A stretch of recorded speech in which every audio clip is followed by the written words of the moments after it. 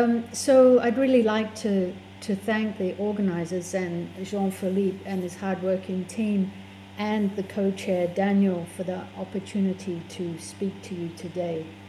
Um, I'm going to talk about the work of the Laboratory for Experimental Museology, uh, which is the lab that I direct at the EPFL.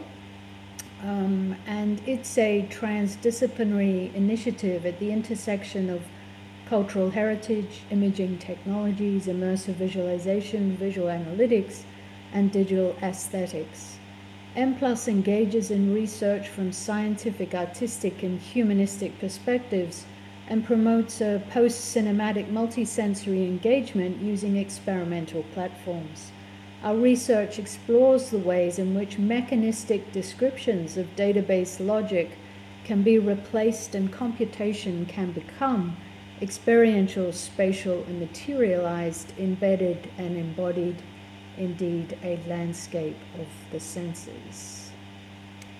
So, for the last 20 years, I've been designing and building large scale interactive frameworks for public engagement um, inside museums. This work was initially located at Museum Victoria in Melbourne, where I started to design these systems. And uh, then I started to work with universities to help sustain this kind of infrastructure. The need for advanced computer uh, science in these works was increasing, and so this was a way, a strategy for museums to be able to continue to present this kind of work, but at, at the forefront of technology. I then moved to Hong Kong um, and co established the Applied Laboratory for Interactive Visualization and Embodiment at the Hong Kong Science Park. And then I returned to Australia to build um, the Expanded Perception and Interaction Centre and here, um, if you look on the right-hand side of your screen, you'll see a small um, 360 degree um, panorama at seven meters diameter, and it comprised of 56 projectors and a 29 computer cluster. So it's 120 million pixels in 3D. It's at the edge of human visual acuity, and it was designed to solve visualization problems for complexity and big data in the humanities and the sciences. I'd also add that it's a fully tracked system uh, and it has a complete ambisonic um, sound infrastructure for doing uh, um, ambisonic um, immersion. So we did, and I ended up doing, coming from a, a sort of cultural heritage art background, um, increasingly scientific projects. Um, this is phenome network visualization with Imperial College London, single molecule science and single cell microscopy, reducing 53 parameters of that imaging to a 3D space.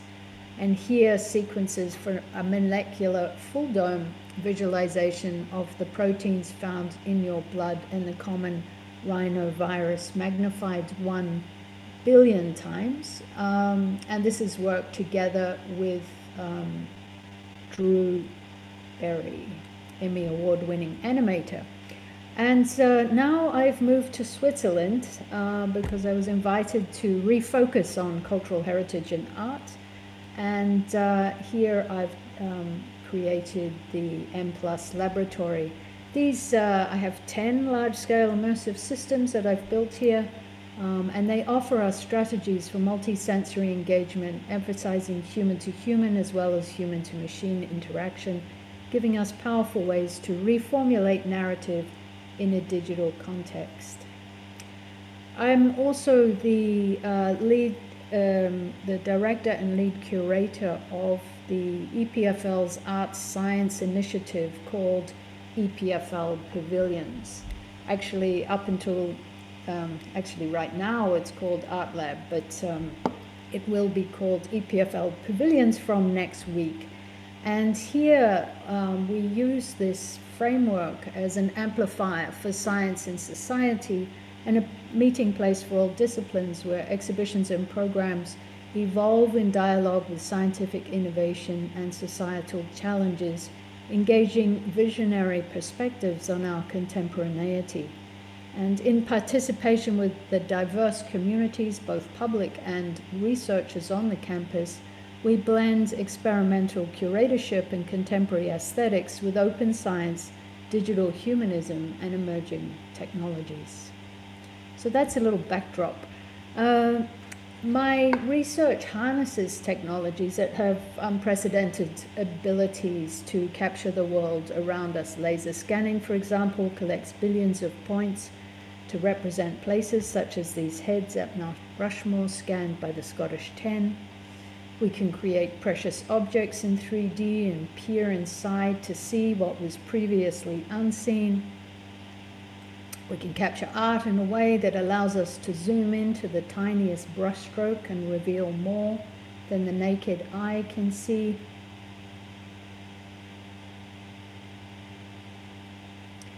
And we're also working with advances in machine learning, um, increasingly important. Here, photogrammetric model of Nefertari's tomb, which was collected in only eight hours of photography. And machine learning is used to create a model of billions of points, and this model is then transferred to a 360 3D environment of 40 million pixels um, as a world first demonstrator for Unreal Engine's nDisplay technology, and it's synchronized across a graphics cluster of 11 PCs.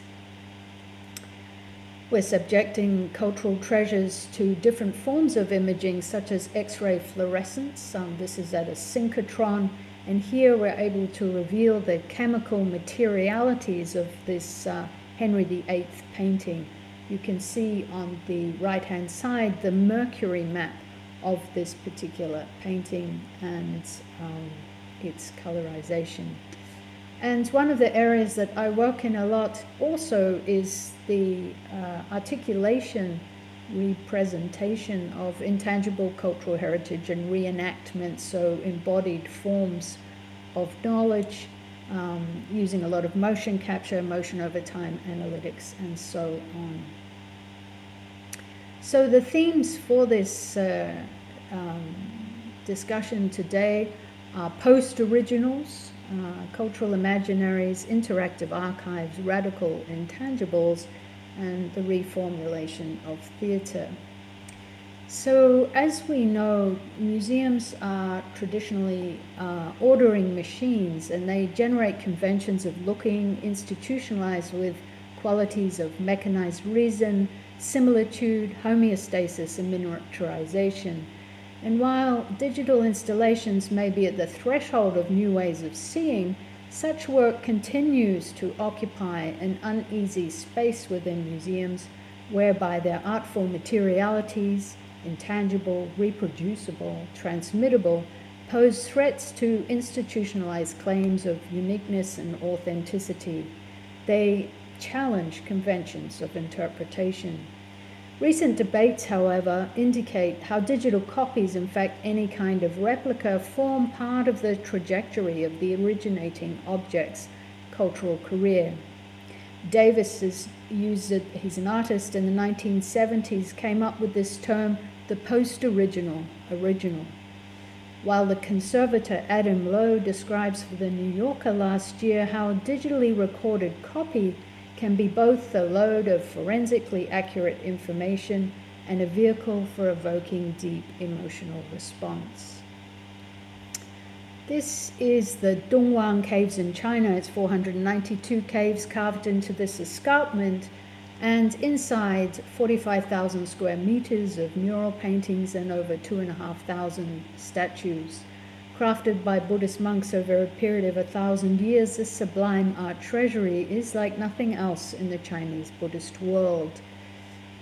To give you an idea of the significance, um, there were the library cave contained 15 cubic meters of manuscripts, um, all of which were removed from the site by explorer archaeologists and are now distributed across 18 countries. They're being digitally repatriated, if you like, through the International Dunhuang project run from the British Library. But amongst these documents were the oldest book in the world, the Diamond Sutra, and the earliest known depictions of the Chinese constellations. These caves are under serious threat from increasing tourism as a World Heritage Site, and there's a massive preservation effort underway. Um, over 60 full time photographers, and it takes them about three months to digitize a single cave. So, um, if you recall the Nefertari tomb um, project, which was done in just eight hours, this is a kind of predecessor of camera array photography and laser scanning. So we took the wireframe from the laser scan of Cave 220 um, to create Pure Land inside the Mogao Grottoes at Dunhuang. It's staged in this 360 3D system. It's about 10 meters across and 4 meters high, and it allows 30 people a one to one scale experience inside the cave, um, which is permanently closed to the public. So it's the only method of access. Um, in fact, only uh, about 30 caves out of the 492 are accessible. So inside this virtual world, we go into Cave 220. We simulate what it's like to be there now. Um, so if you do get into a cave, you're with about 60 people and one LED torch, which is um, flashing around. Um, but of course, it's a digital cave, so we can light it up. And then we created a series of tools to start to examine and interpret these very rich mural paintings, which contain a lot of socio-cultural and historical material, as well as depictions of the Buddhist sutras. The Dunhuang Academy um, did recoloring of the mural paintings. As you can see, very crude animation here, um, but done many years ago, actually, um, by students. We modeled all of the instruments in 3D in this painting. Uh, there are 32 musicians. We filmed Beijing Academy dancers in a green screen studio and inserted their video into the scene. And so it was really um, a prototype for what you might do, um, different strategies for what you might do in bringing um, this, this cave to life. Um, it's been seen now by over a million people physically, so it had a huge impact in the world of kind of digital heritage um, and museum interpretation. What's interesting about these kinds of data sets is they're extremely malleable. And so I'll just show you exactly the same data, but rendered in different ways. Um, here we printed the wireframe from the laser scan on the walls of an exhibition booth, one-to-one -one scale again. Um, this was originally done for Art Basel in Hong Kong, also has toured the world. Visitors are now walking inside the model, yeah, using this tablet as their kind of window on the world. Um, it uses 24 infrared cameras to track the um, tablet, also a 2012 installation. Um, and uh, but what's important about it is the way that it harnesses socialization around a single screen. So for museums, socialization is at the core of the museum experience. So we're more interested in being able to build interfaces that harness this that operate for young kids, for middle aged ladies, grandmother and grandchild. Grandmother abandons the grandchild and takes off with the screen. So multi generational works.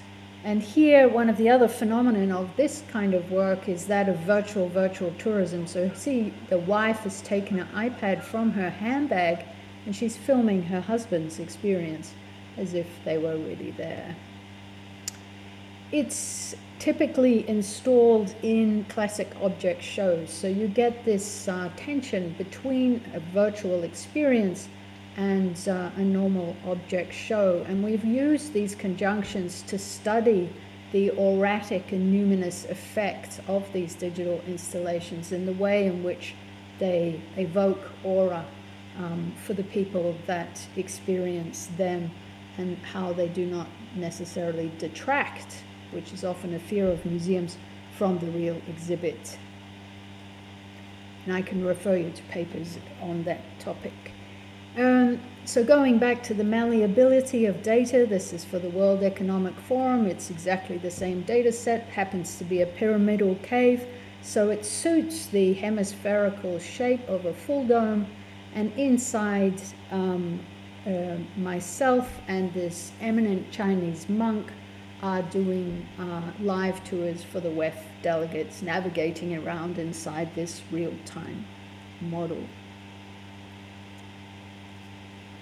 So, embodying cultural imaginaries, this, this goes, in fact, a lot towards the phenomenological, I guess, um, but from the perspective of post processual archaeology.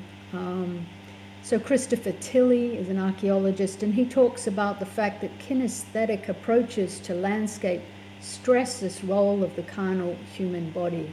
The way that we perceive and relate to visual images is fundamentally related to the kinds of bodies we have. Christopher Tilley, an art historian, describes corporeal embodied aesthetics, the way in which iconic images transfix their viewers.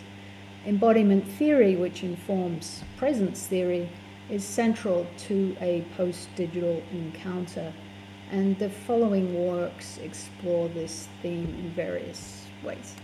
Um, this is the dome of the Prince of Wales Museum, and it was adopted as the epicenter for an artistic exploration that specifically focuses on the ceiling architectures of Mumbai's heritage and contemporary buildings and transforms them into an urban celestial imaginary. Shot 160 gigapixel images throughout the city.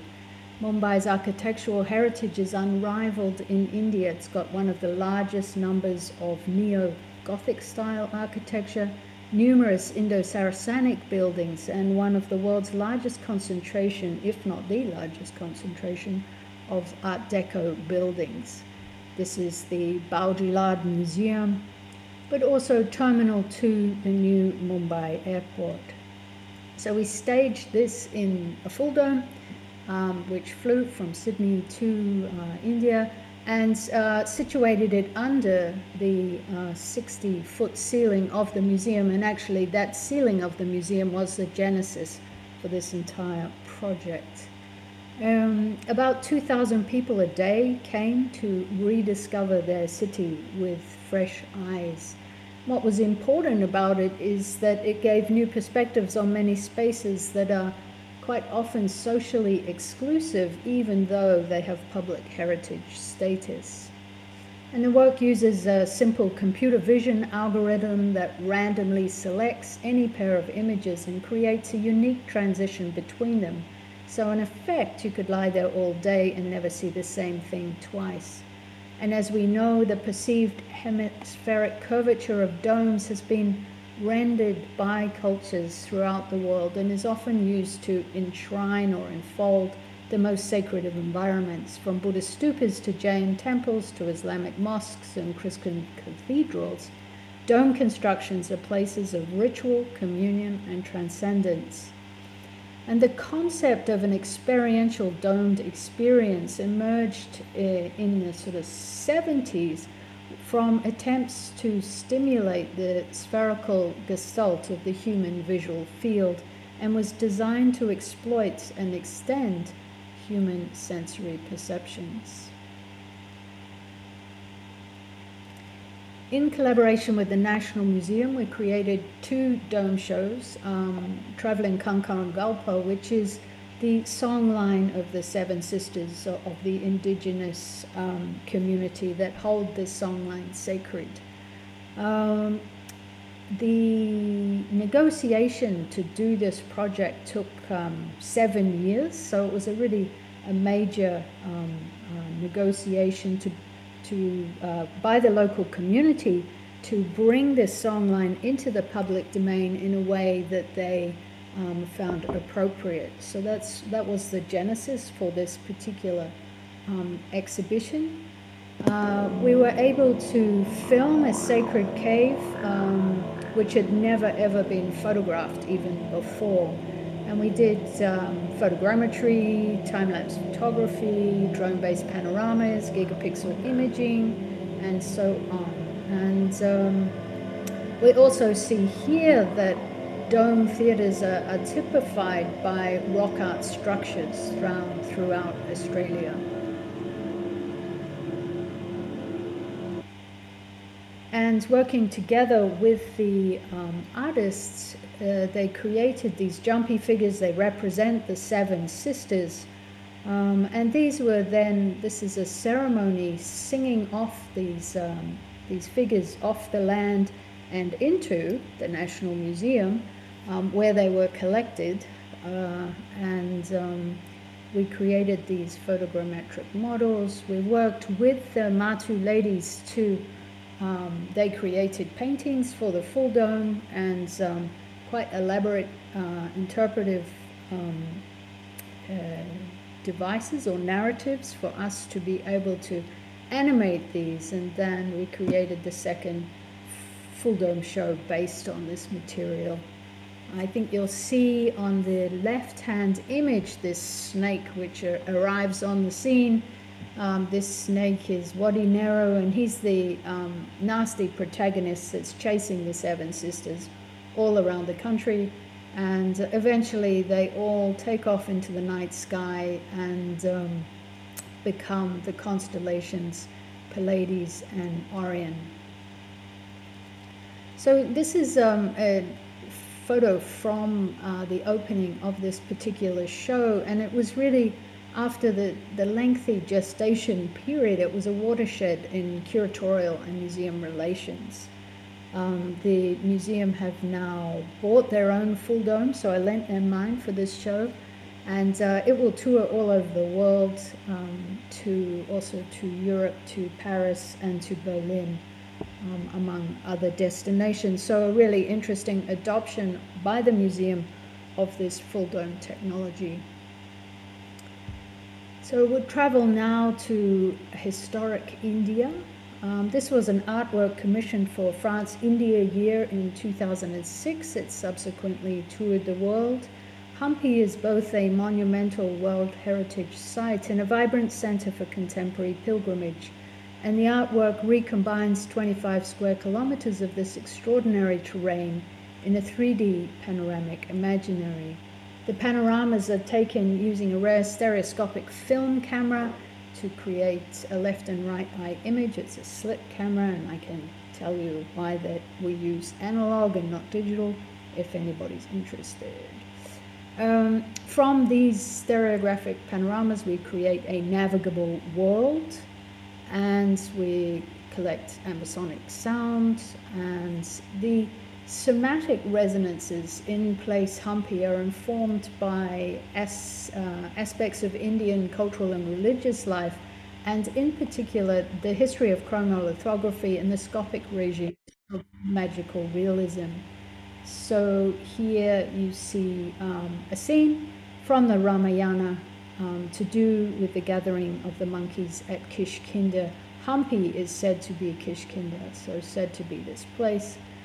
Working together with Indian um, artists and animators was the world's first, I mean, not the world's first, India's first stereographic animation as this conversation between chromolithography, theatre, photography, and film observable in late 19th and early 20th century. So these are embedded into the stereoscopic scenes, lots of motion capture. Um, and the artwork is staged um, in a 360 degree projection environment, users put on 3D glasses, and it's a motorized platform that's able to rotate this full 360 degrees and take any number of visitors, um, up to about 25 in this space, um, through a serendipitous journey of discovery to the many wonderful locations at Hampi. Um, if you speak into the microphone mounted on the platform, it releases a uh, text into the world that comes from chapter 13 and 37 of the Ramayana to do with the gathering of the monkeys at Kishkinda. And here you see just this example of this animation embedded inside this panorama um, with music by Dr. L. Subramaniam, who's a Carnatic violin superstar. This work became the, uh, a focal point for a much larger exhibition that I did in um, Australia um, that looked at the archaeological imaginary of this site um, from the 1850s onwards um, through various uh, exhibition formats.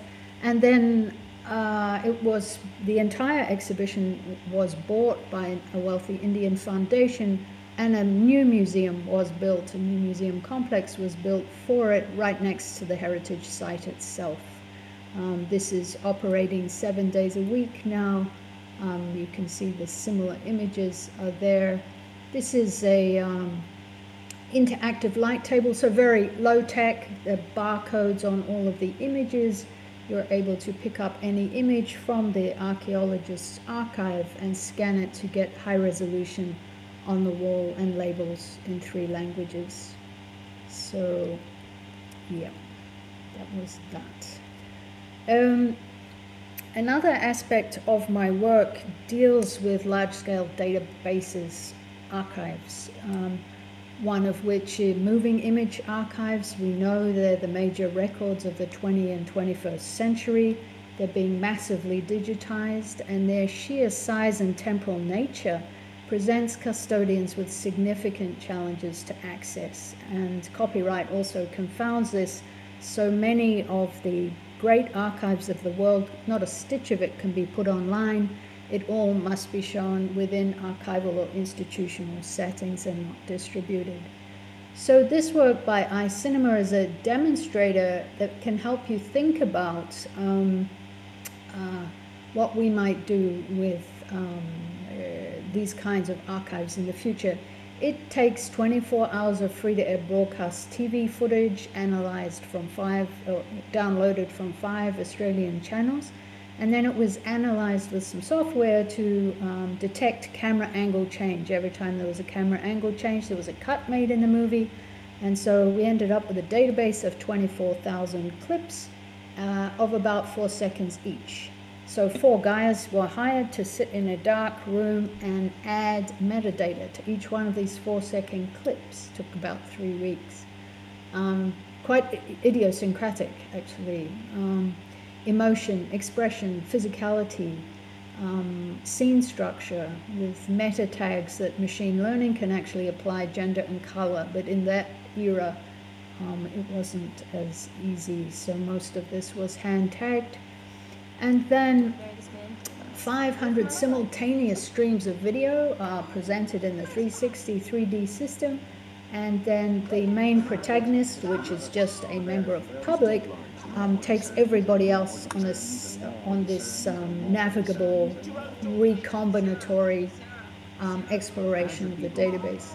When he clicks, uh, clicks something, um, he can bring up actually a um, interface that allows him to weight his search. So here we will he will click on the fiery red stuff and it goes into the database and it brings everything that's semantically most similar to one side and everything that is most dissimilar will be behind you. This one actually is a machine learning um, algorithm or computer vision algorithm because it's detecting luminosity in the image. Um, and here you end up with all the bright shiny stuff on one side and behind you you'll find all the black and whites or all of the titles of this particular um, set of data. Another feature is that you can add clips together, so you're recombining the narrative from different movies entirely um, to create your own movie. We call this recombinatory narrative. Most people would just call it mashup culture. Similar vein, but slightly more um, prosaic, is um, Museum Victoria's collections. And this was addressing the issue that the museum only shows 0.8% of its 16 million objects. This is an export from the content management system. Uh, it took 15 minutes to get the data using 25 fields of metadata and this 100,000 objects. It's distributed across uh, 16 themes and then the metadata is used to connect these disparate themes. It's temporally distributed, but in the z-axis you can navigate as far as the eye can see. Creates a wordle from the description, you can access the original record, but perhaps most importantly is this um, these metadata relationships that encourage the user to take these journeys through the data. Um, it doesn't have a search engine, and it's something we can also discuss why not. Um, and it acts more like a um, real time uh, curating machine um, where you'll always be uh, confronted with the unexpected. It also has an emergent soundscape based on the, um, the, the audio collections of the museum. So this is something I created recently um, for the Montreux Jazz Archive, so also moving image. Uh, it's 5,400 artists, 13,000 videos from the Montreux Jazz Archive, which has been digitized by EPFL. In total, they've done 11,000 hours of video, so actually this is a fragment of only the jazz um, uh, material. The neural net type image that you see here is, um, uh, is based on, I'll just go back, the social network of these performers. So the number of times that they played with each other creates link strength. And so the closer you are to the center, the more active you were in playing with other musicians. And at the very center of this network is um, is BB King. Actually, he played with more other artists than any other jazz performer.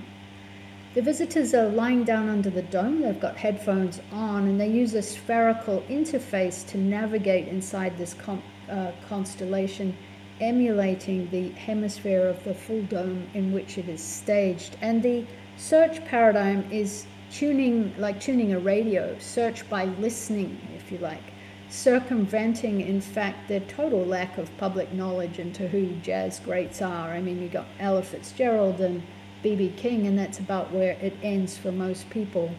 So this is a, a mechanism to get into the data set of 13,000 videos without knowing anything, but knowing what you like to listen to. It uh, unfolds in three layers from the neural nets to all the songs by that performer to um, a kind of rewind of a single song from the beginning.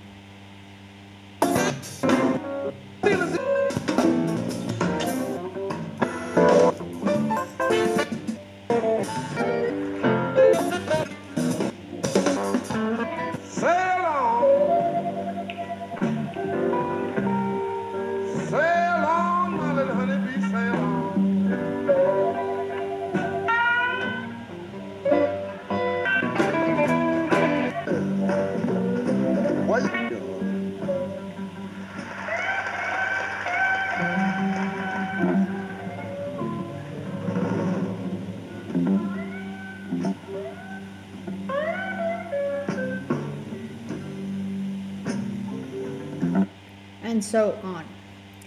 Um, in this particular work, I was charged with making an exhibition for the EPFL's 50th birthday, and this one contains 29,000 pages of the three official magazines from the 1970s onwards, cam- uh, chronicling campus life for 40 years or so. Um, and it's an interactive, motorized um, temporal browser, if you like. So um, you can select the year and the screen will travel physically through space and time and, uh, and then you can access any individual um, uh, magazine and scroll through it. So quite simple, but these ideas of, of the physical interface and also the spatial or temporal dimensions of archives. Um, here we were confronted with the fact that most of the um, metadata, well, there was no metadata for EPFL's um, uh, half a million photographs. So 30 years of photography by a single photographer, um, but unfortunately no metadata but the date. So we were able to use machine learning um, to in fact tag all of this material across architecture, science, and the social. So the entire archive is accessible in these um, uh, using these metadata tags and was e extraordinarily accurate in the way that it was able to query the data and then portray it against all of these parameters. What you're looking at here on the left hand side is the touchscreen interface, which is on a table, and then its projection um, on the screen. um, that you can also see here.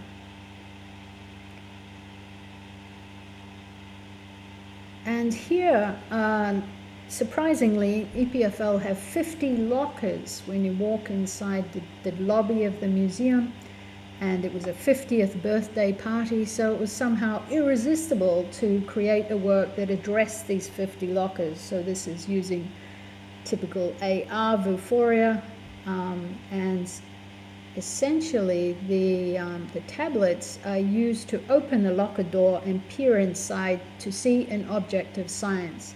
There were, in fact, um, 50, I think I have to click this, yeah. Um, 50 different laboratories uh, uh, provided data to be able to create these 3D models. And um, this is how it worked, and each locker was different. It's called Open Science. Um, and of course, was a website with a lot more information. You'll notice there's not a single label in here. It's like a Wunderkammer. And also, kids use those lockers for other things. Um, this idea of the archaeology of the body is also something that really interests me and I've been working on for a long time. Um, so the processes of digital documentation, reproduction and transmission of intangible cultural heritage in museological contexts. And uh, this is a longitudinal project, it's still running. I think it will keep going for the rest of my life um, and onwards. Uh, so it's based in Hong Kong, and Hong Kong is an extraordinary reservoir of intangible cultural heritage, primarily of Hakka people. And from the early to mid 20th century, Hong Kong provided refuge for teeming thousands of immigrants from mainland China, and among them some of the most prominent martial artists in the world. With globalization, urbanization, and dwindling numbers of practitioners, this living heritage made internationally so famous by Jackie Chan, Gordon Liu, and Hong Kong cinema is now in danger of becoming lost. So the community came to um, me when I was living at City U in Hong Kong and uh, initiated this project. Uh, we had a motion capture laboratory. They were interested in technologies for transmission. So that's where it began. We're working with 33 elite masters, and we've probably done about 60% of the total repertoire. Um, we're also documenting all of the um, rituals um, and uh, traditional medicine and a whole range of cultural phenomenon around um, these. So here you see Oscar, both his grandfather and great grandfather were Kung Fu masters. Okay, we can produce a model, we can do automated um, motion over time analytics. Um, and uh, since those early days, we've had nine exhibitions worldwide. Uh, and the Hong Kong government are just uh, in the process of um, uh, building a new museum and a, and a place for the archive. Um, I have PhDs who are working on this from an ontology and machine learning perspective. Um, these are just some of the um, posters for these exhibitions. One of the central features um, for uh, one of these exhibitions is the six-sided rear projected system. You can walk around the Kung Fu Master at one-to-one -one scale and then annotate the way in which he appears on the screen in different ways. It's a stereographic um, interface. Um, this is the analysis of speed on the body at any moment in time. Um, here, a typical um, particle animation. The, there are many theorists are writing in this kind of area. So Brian Rotman talks about corporeal gestural haptic writing that recognizes motion capture as a continuous topological model that allows for the easier retainment of the effective qualities of movement. And echoing advances in Labanotation, this project is continuing to advance automated systems for describing and analyzing human movement. And we're using it in serious games, teaching and learning, and of course, museum exhibits, but also in robotics. This is Lam Sai Wing. Um, it's quite a strange archival object. We have photos of him He was the first Kung Fu master to use photography in studio practice to record sessions. And we have these hand drawings of him. So from the photographs, we um, created a 3D model. Then we put his great great grandnephew, Oscar, into the mocap lab and created this uh, life size uh, 3D model um, of him um, performing iron wire boxing, which is a kind of chi building exercise.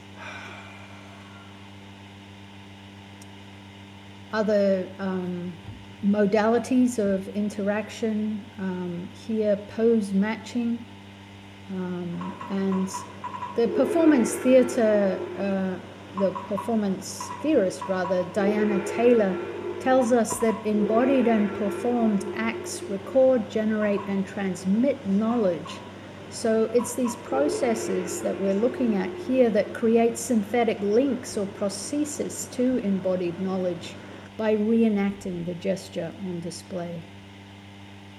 Other forms of documentation include thousand frame a second. So here's Yao Wanhua in action.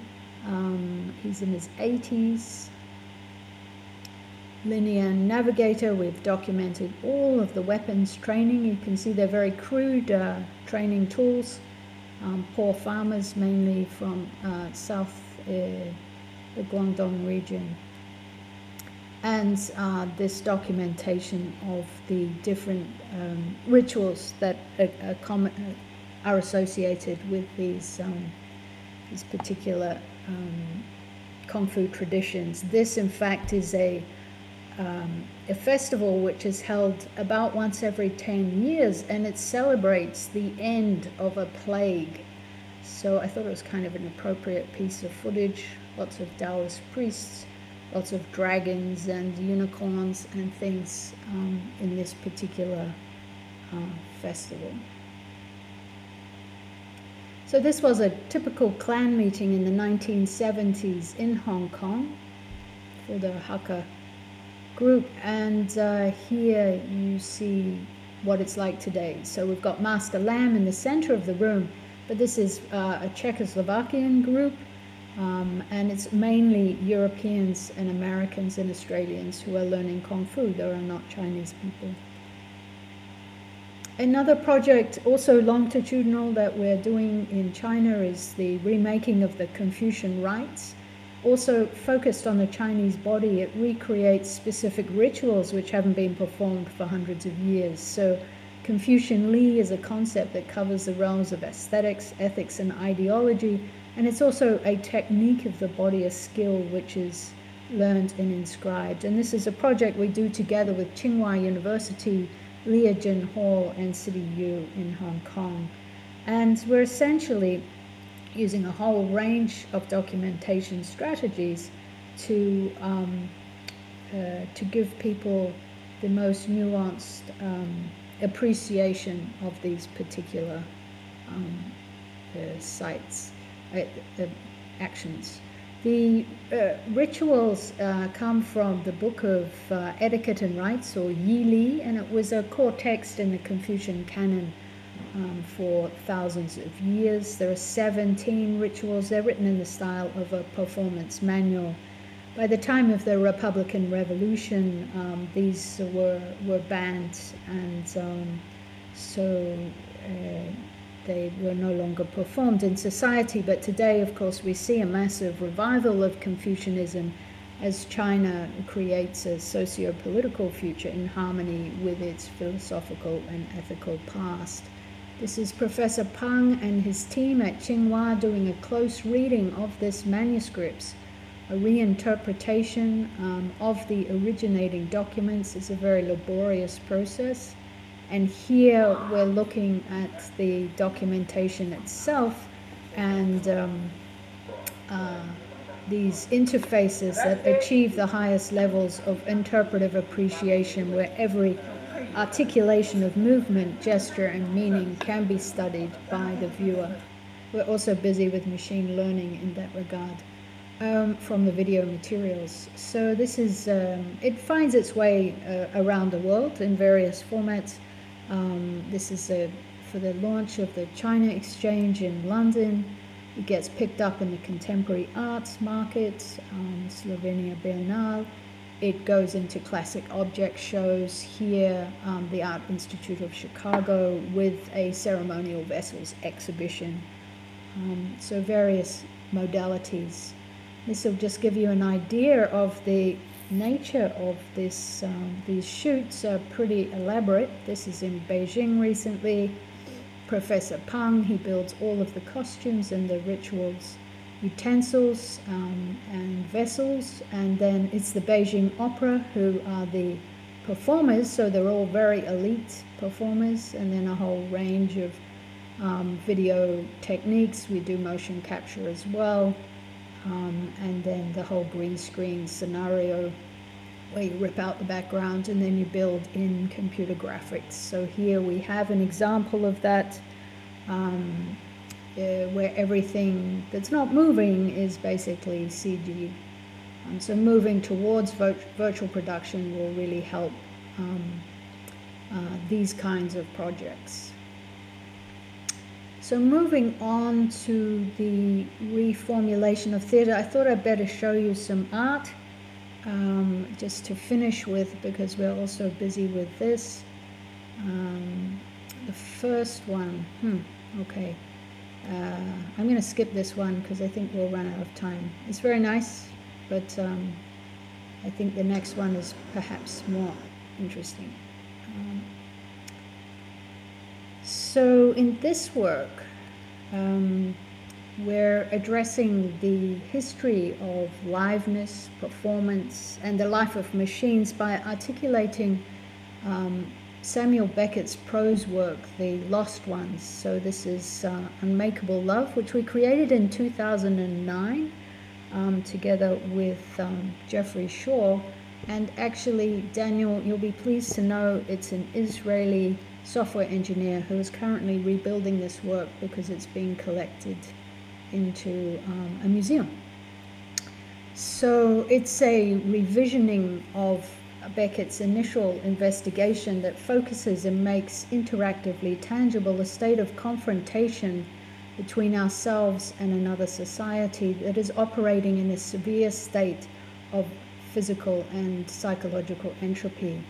The interactive theatre advances the practices of algorithmic agency, artificial life, virtual communities, human computer interaction, augmented virtuality, mixed reality, and multimedia performance.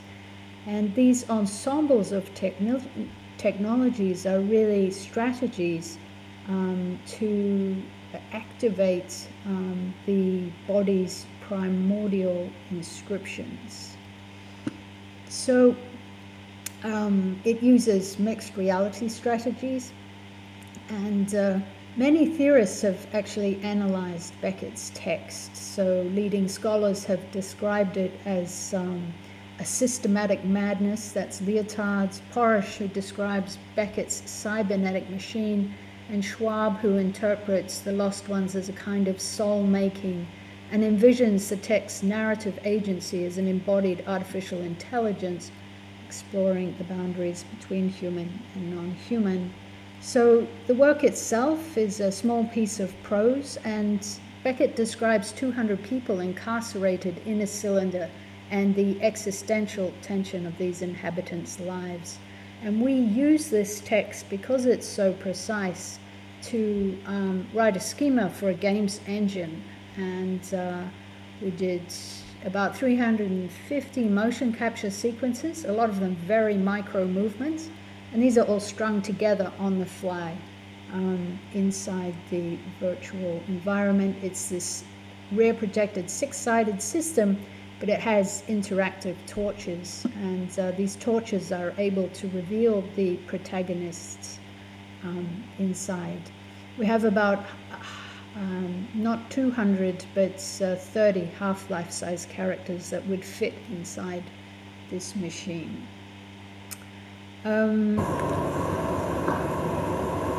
so I think hopefully um, the mixed reality component will soon be visible. There's a infrared camera mounted on every uh, screen and so it's able to capture the torch user Um, and the only light, obviously, that's in the world is coming from various users and various torches. Uh, here we go. So this will clearly illustrate how this one works. So here you see Jeffrey standing on the other side of this system physically, and we are able to um, see each other by using our torches and penetrating through the gloom. Um, and uh, this uh, strategy of mixed reality gives this um, the viewer this kind of impression that um, somehow they are being viewed themselves, and so it uh, it has this um, uh, psychological kind of um, self other ambiguity. Um, and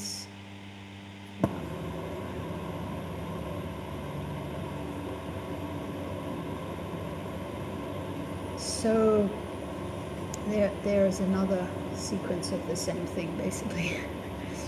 Um, so that's it for this particular uh, talk. The sun is moving around in my house and I'm increasingly leaning to one side. Um, but I will stop sharing my screen soon um, when I can find my mouse and uh,